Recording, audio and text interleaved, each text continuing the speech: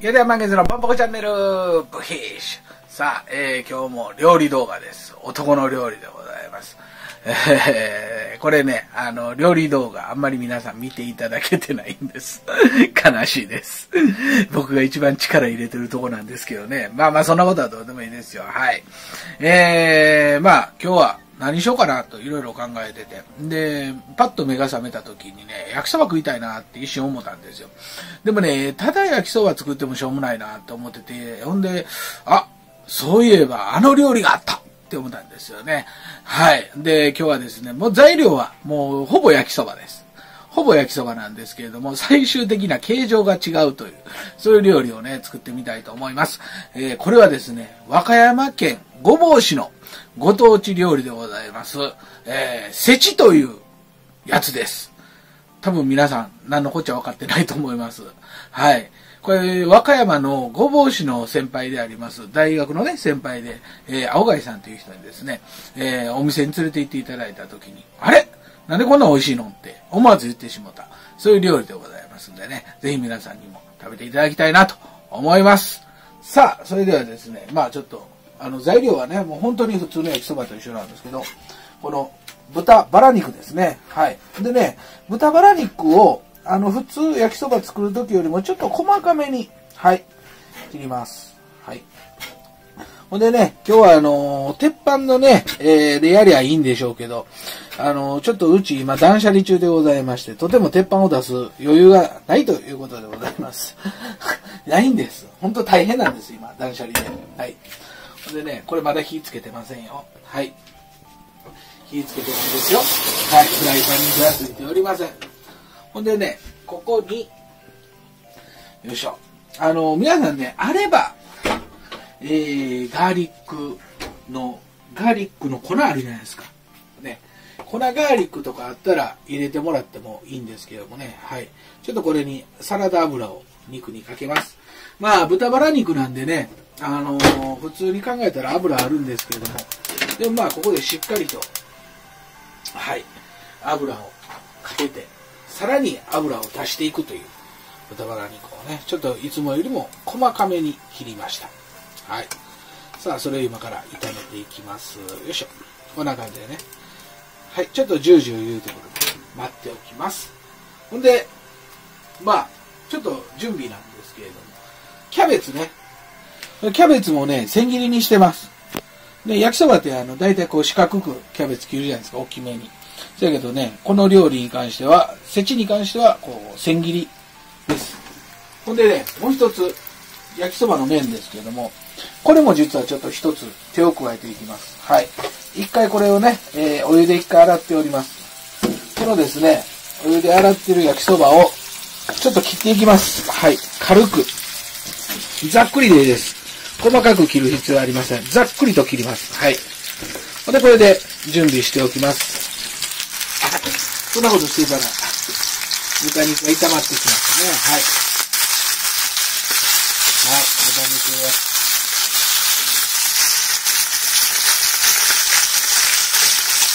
さあ、ほんまね、ニンニクの粉かなんかも使いたいんですけどね。これでもね、チューブのニンニクやとまた味が変わんの。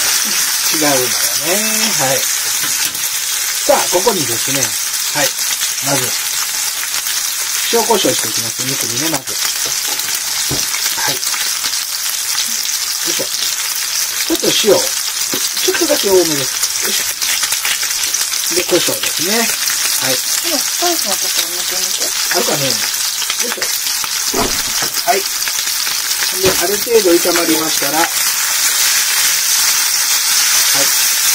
ここに、キャベツ、ドバーですね。はい。で、ちょっとざっくり炒めていきますね。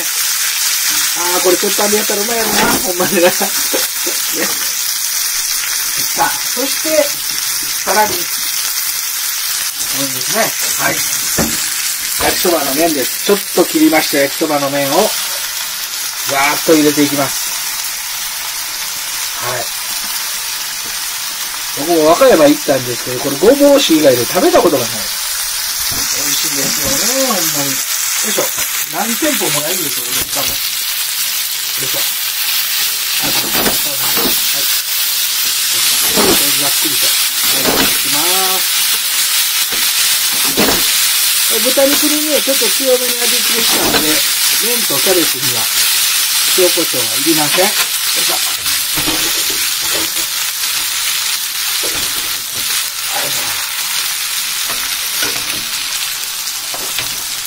さあ、そして、さあ、えー、そしてですね、今、スパイスのところを探してますけど、やっぱりないですね、ガーリックね。はい。ガーリックないですね。はい、ないです。ないですね。はい、えー、これね、炒めております。結構ね、はい、ここでしっかりと炒めます。だいたいキャベツのですね、ボリュームが半分ぐらいになるかな？ぐらいになったらですね、はい、ここで、ウスターソースです。よいしょ。ウスターソース。そして、えー、焼きそばソース。はい。おい、危ない。危険です。よいし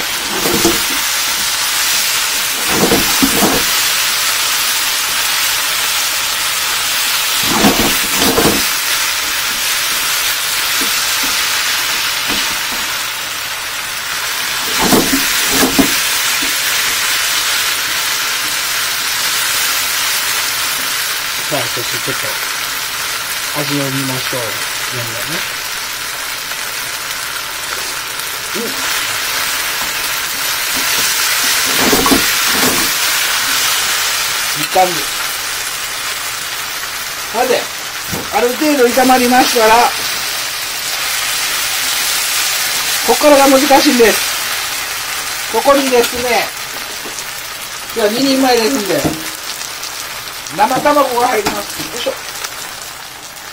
生卵を2個。まあ、要するに1人前1個です。割り入れます。しかも、この生卵ここからですよ。いきますよ。ぐちゃーって混ぜます。はい、混ぜちゃいます。混ぜていきます。よいしょ。ぐちゃぐちゃぐちゃー。ほら、ぐちゃぐちゃぐちゃぐちゃぐちゃぐちゃ。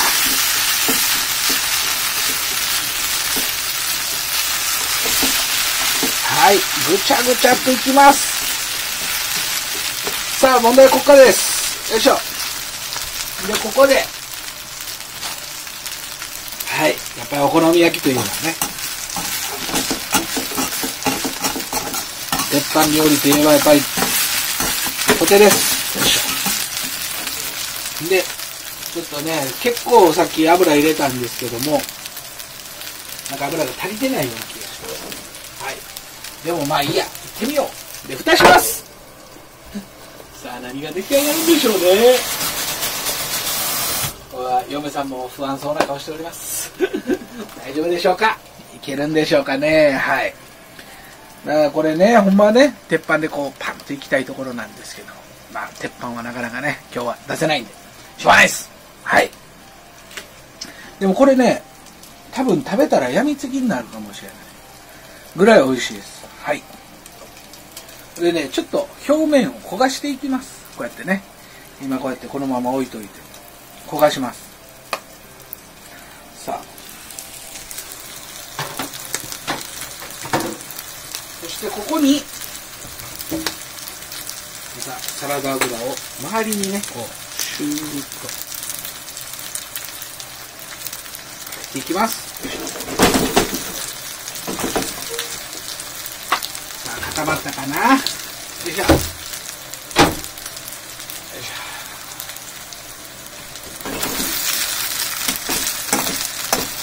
そろそろいけるんじゃないか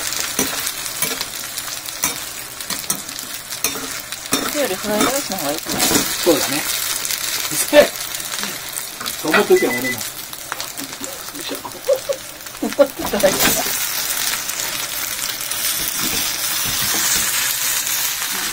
あ、それではひっくり返します。成功する記憶、あの、予感が全くしない。やばい。いきます。せーの。はい、失敗ミスったーミスったーはい、失敗よいしょ失敗だミスだよいしょでもこうやって固めますね。そうや、忘れてた。大事なこと忘れてました。固めるの忘れてました。はい。はい。見事にひっくり返りました すいません、正直言います。嫁にやってもらいました。僕では無理でした。はい。まあ、あの、でもね、をですね、はい、お皿に盛り付けますけども、食べるときは、お好み焼きのように切って、ほんで、あと、あの、マヨネーズとかつけて食べてみてください。美味しいです。というわけでございまして、よでまげずのポモコチャンネル、えー和歌山県御坊市の郷土料理、せちを作ってみたけど、ぶっちゃけ失敗だぜ でもちゃんと、あの、責任を持って最後食べますんで、はい。食品は無駄にしません。では、皆さん、さよなら。大失敗だぜ、畜生。